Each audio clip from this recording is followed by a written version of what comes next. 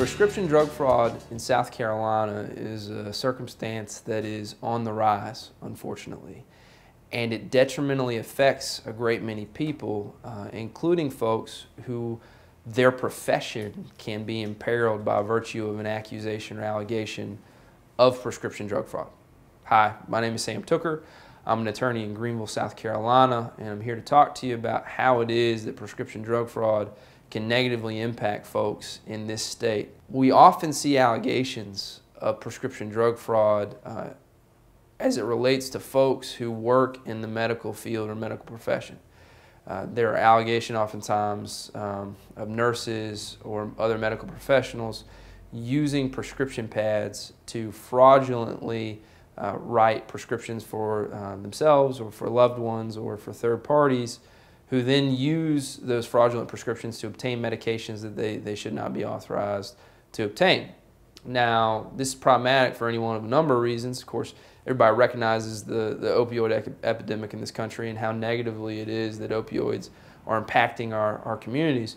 Um, but on an individual level, folks who are accused of committing these crimes, particularly medical professionals, uh, don't have to worry just about the prosecution and potential penalties associated with a conviction, they have to worry about how it is that the accusation and potential conviction can impact their ability to practice their profession. By way of example, a nurse who is accused of writing prescriptions to a third party, giving those fraudulent prescriptions to the third party, and then having the um, opiates that are obtained with the third party ends up prosecuted by DHEC uh, and or charged by DHEC and prosecuted by the solicitor's office that person has then not only uh, put themselves in a position whereby they are in jeopardy of the penalties associated with the crime, but also the penalties associated with the uh, LLR board's decision with regards to their license.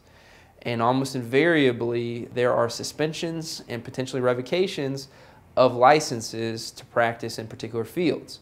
So, folks who are accused of committing those crimes have to be real careful about what they do and what they say, both with law enforcement and with the solicitor's office, in as much as um, inculpatory statements, statements that make more likely that they were in fact committing fraud, make more likely that their license could be suspended and or revoked by virtue of those decisions.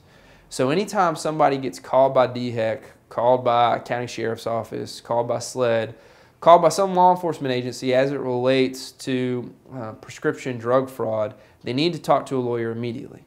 Um, they do not need to go into an environment with law enforcement where they could potentially imperil themselves or their license uh, without first having communicated what's going on to an attorney. If you find yourself in that position, you want to talk to somebody, please give me a call. Phone number is 864 271 2636. I'll be happy to talk to you about what's going on, uh, happy to talk to you about whether or not you should communicate with law enforcement, and happy to defend you in the event that you find yourself charged. Thanks.